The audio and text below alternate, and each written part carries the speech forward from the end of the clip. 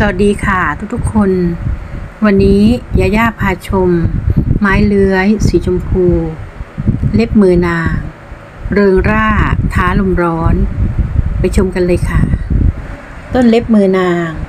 มีเอกลักษณ์อันโดดเด่นนะคะ คือมีดอกสีชมพูอ่อนและเข้ม หากเรามองไกลๆ เราก็รู้ได้เลยค่ะ ว่านี้คือเล็บมือนาง ต้นเล็บมือนางลักษณะพื้นผิวแข็ง ต่างไปจากพันไม้เลื้อยอื่นๆนะคะ ที่ผิวอ่อน แม้พันไม้เลื้อยเล็บมือนาง จะมีความแข็ง แต่เลื้อยปีนป่ายพาดไปกับต้นไม้อื่นๆ หรือสิ่งก่อสร้างได้ค่ะ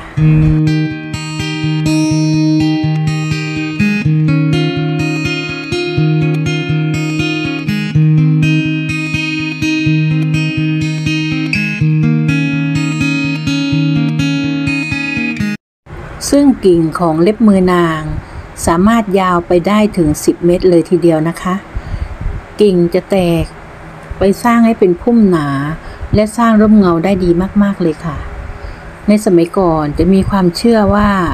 ปลูกเล็บมือนางไว้เป็นซุ้มที่หน้าบ้าน เพื่อข่มศัตรู ที่มีอาคมเก่งกล้า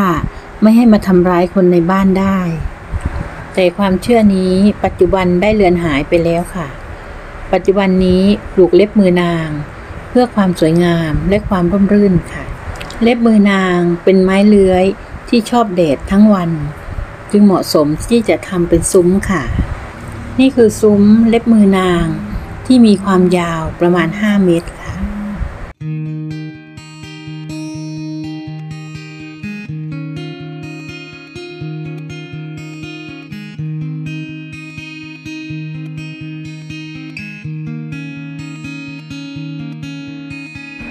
ดอกเล็บมือนาง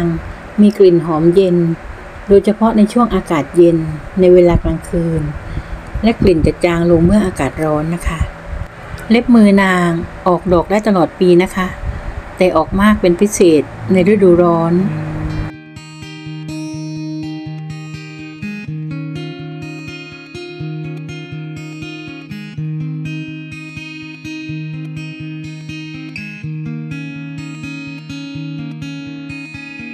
เล็บมือนาง เลี้ยงดูง่าย ทนทานอยู่ได้นานหลายปี ไม่ต้องการสารเคมีในการดูแลรักษา เล็บมือนางมีเมล็ดนะคะ แต่การขยายพันธุ์ไม่นิยมการเพราะเมล็ดค่ะ แต่เป็นการตอนกิ่ง หรือแยกต้นที่งอกจากรากบริเวณคนต้นเดิม ซึ่งนอกจากจะโตเร็ว แล้วยังไม่กลายพันธุ์ไปจากต้นเดิมอีกค่ะ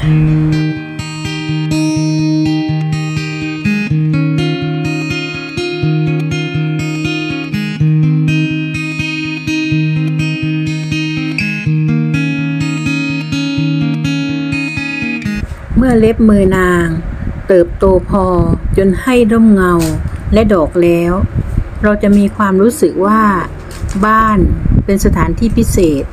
ไม่มีที่ไหนเหมือนบ้านค่ะ